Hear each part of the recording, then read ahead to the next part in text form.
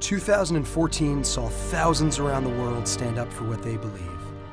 They fundraised, fought for democracy, treated the sick. These are the selfless ones.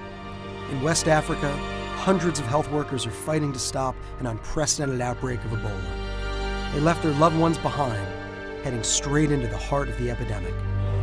More than 200 doctors and nurses have died doing this heroic work. On the other side of the world, thousands in Hong Kong are in the streets demanding a political voice.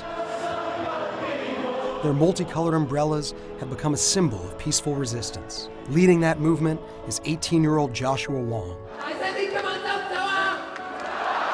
To some, he's a threat to national order.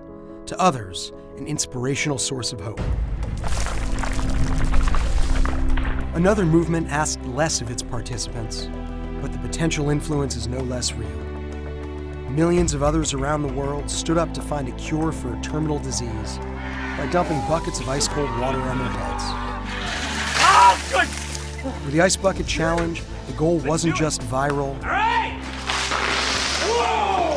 it was vital to fundraise for ALS, a rare genetic disease.